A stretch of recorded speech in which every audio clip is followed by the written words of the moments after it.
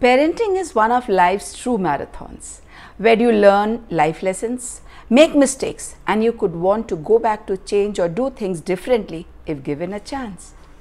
Now, grandkids are the ultimate second chance that anyone can get.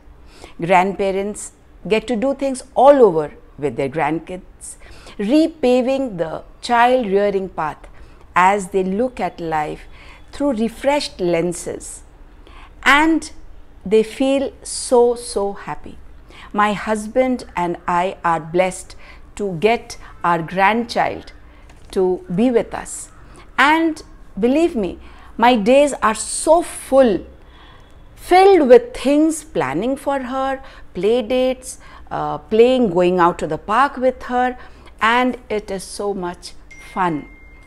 The grandparents and the grandkids spending time not only benefits both of them, it gives the parents also a lot of time for their own thing. And especially for the grandchildren, it fills their days mentally, emotionally, and physically. They feel active, involved, and hence the health also is always good.